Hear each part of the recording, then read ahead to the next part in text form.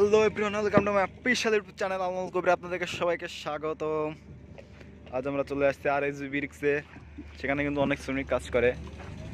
চলুন দেখাবো তাদের ইট বানানোর প্রক্রিয়া